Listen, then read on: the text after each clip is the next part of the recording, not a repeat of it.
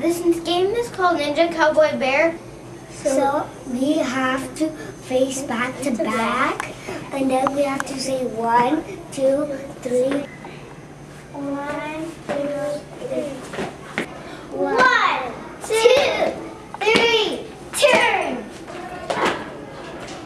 You have to take three steps forward. Ninja beats cowboy, cowboy beats bear, bear beats ninja. Um, this is cowboy, this is ninja, and this is bear.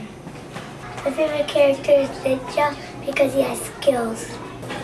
I like bear because he's funny just like me. And then then you have to see and then you can look back on here to see which one you are. You get to be one of the characters. You get to be ninja, cowboy, or bear. And ninja and cowboy and bear.